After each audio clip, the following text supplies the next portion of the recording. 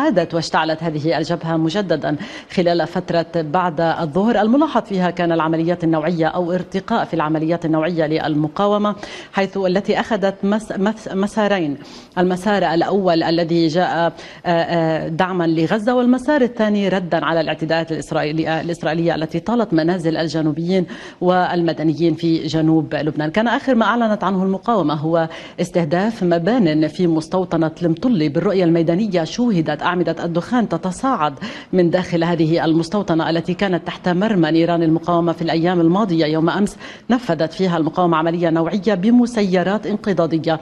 أيضا كان هناك استهداف لمبان يتحصن فيها جنود الاحتلال الإسرائيلي مبنيين في مستوطنة أشتولة وكان هناك إصابات مباشرة بحسب ما نشرته أو أعلن عنه الإعلام الحربي. في بيان المقاومة. إضافة إلى عملية ثالثة ردا على الاعتداءات في موقع المنارة وهناك استهدفت المقاومة تجمعات أو تجمعا لجنود الاحتلال الإسرائيلي داخل هذا الموقع. أيضا اليوم كمال كنا أمام عملية نوعية للمقاومة حيث شنت هجوما جويا بمسيرات انقضاضية أصابت ضباط وجنود أثناء تواجدهم داخل ثكنة يفتاح وأصابتهم بدقة وأوقعتهم بين قتيل وجريح. وفي الوقت نفسه استهدفت المسير مسيرات أخرى. إحدى منصات القبة الحديدية المتموضعة داخل ثكنة راموت نفتالي وأصابت أهدافها بدقة مما أدى إلى إعطابها. يعني وبعد ساعة ونصف تقريبا من هجوم المسيرات أيضا المقاومة استهدفت تجمعات لجنود الاحتلال تجمعا داخل هذه الثكنة ثكنة راموت نفتالي بصواريخ موجهة أو بصاروخ موجه مما أدى إلى استهدافهم بشكل مباشر. نتحدث عن عمليتين. متتاليتين في الموقع نفسه.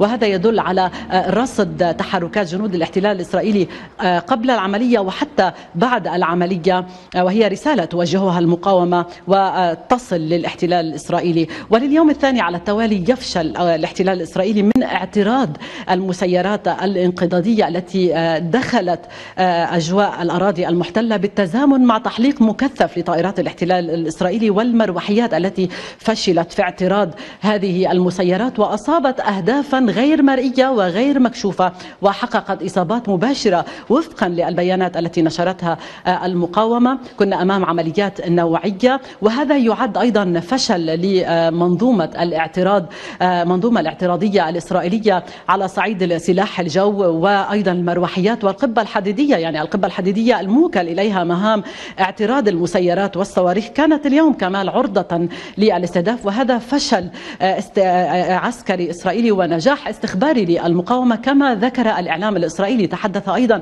عن مخاوف إسرائيلية من هذه العمليات التي تنفذها المقاومة. وسائل إعلام إسرائيلية ذكرت اليوم أن مقاتلي حزب الله يبدعون عند الحدود الشمالية عند في جبهة الشمال. كان هذا فيما يخص العملية النوعية التي نفذتها المقاومة اليوم بمسيرات انقضاضية. شهدنا في الآونة الأخيرة كثافة من قبل المقاومة في استخدام هذه المسيرات وإصابة أهدافها بدقة.